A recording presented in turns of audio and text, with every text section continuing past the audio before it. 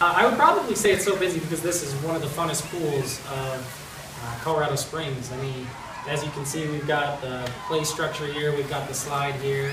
Um, it's a really great family pool with the zero entry. Uh, lots of families love coming here. And it's kind of a bit of a no-brainer to sit out in the sun by the beautiful mountains. It's actually been very surprising, especially with all the rain that's been happening.